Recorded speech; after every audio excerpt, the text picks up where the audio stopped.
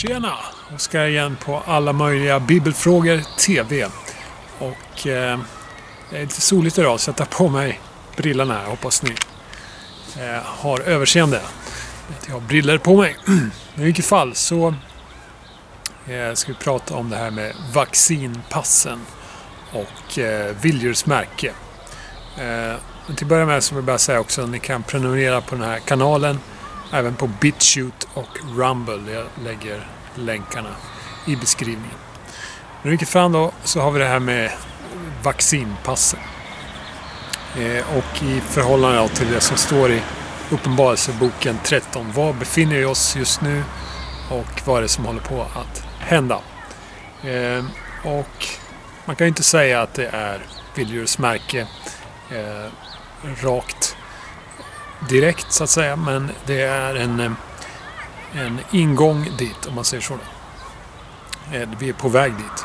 Och eh, eh det är viktigt att eh, då liksom börja be ordentligt och söka Gud. För att det är han som är lösningen. Det är han som ger oss de bästa vägarna. För vi ska ju inte gå in i det här systemet för långt. Vi kan gå en, en viss bit men sen måste vi dra oss undan. Så att säga, för vi ska ju förbereda oss för Jesu återkomst. Och eh, och småningom även uppryckande och en hel del övernaturliga saker kommer att hända i den här sista tiden.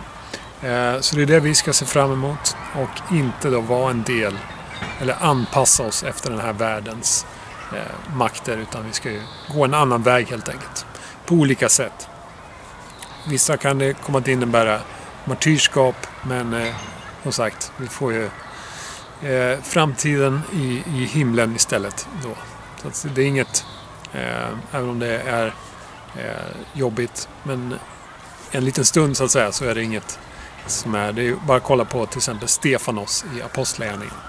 Eh, men det är inte säkert att alla måste gå den vägen utan det finns även andra eh, Ja, det står ju om de som undflydde eh, det här märket och framförallt då handlar det inte bara om ett märke utan det handlar ju om eh, dyrka odjurets bild också och det här med, med ehm, ja, religion, politik och ekonomi. Märket har ju bara med ekonomin att göra. Eh, det vill säga, du kan inte köpa och sälja utan märket. Så att eh, det är liksom inte bara en grej det handlar om. Utan det är flera olika. Eh, men vart befinner vi oss nu då i det här med vaccinpassen? Ja, eh, man kan ju säga en hel del om det.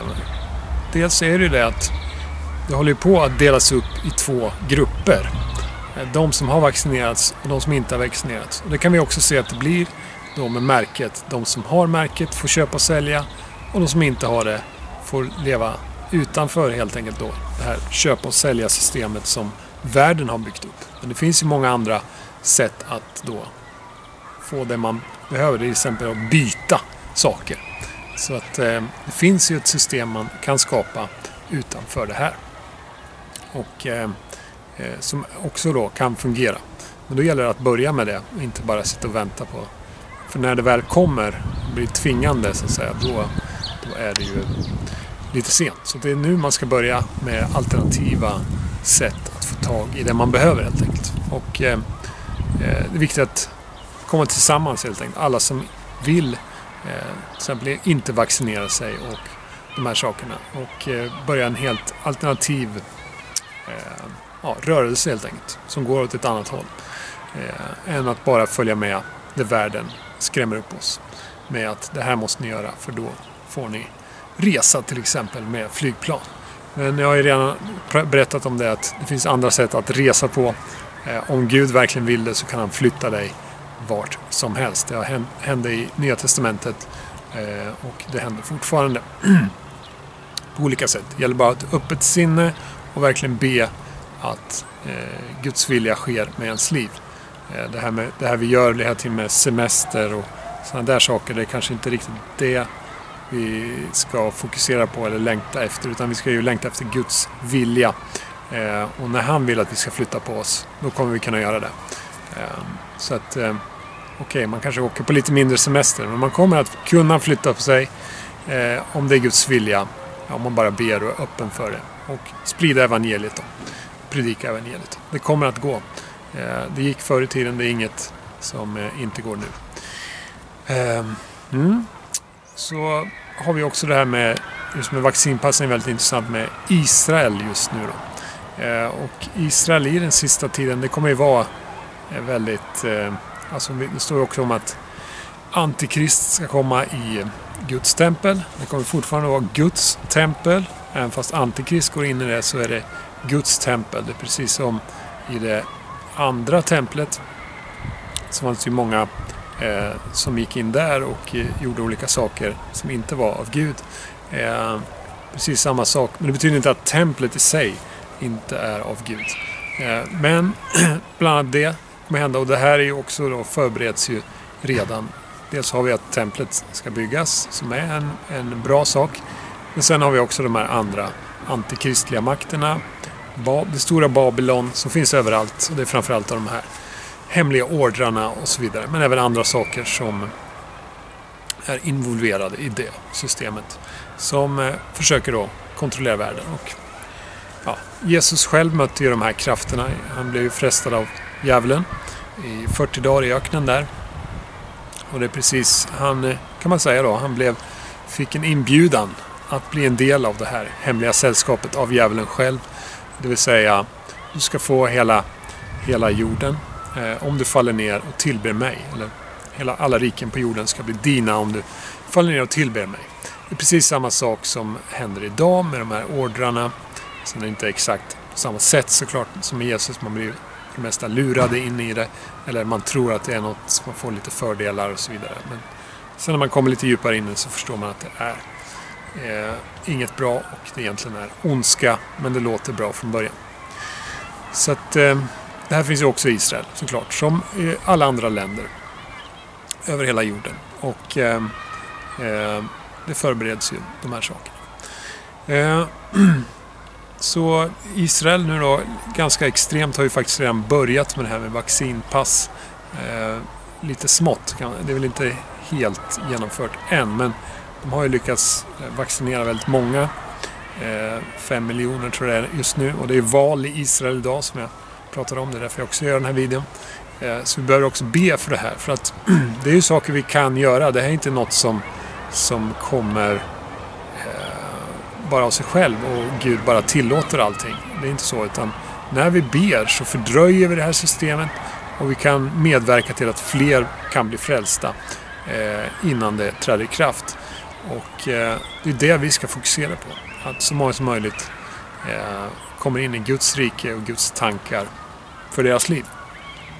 Eh, och inte går den här vägen eh, som då världen försöker få in oss i genom olika tvångsmedel. Eller ja, om du inte gör det här så får du inte göra det här. Och det, bland annat då i Israel har man ju faktiskt börjat då med barn till och med. Om du inte vaccinerar dig eller ja, inte jättesmå barn menar jag inte, men, men alltså de som är inne i skolsystemet att, eh, som ska ta examen.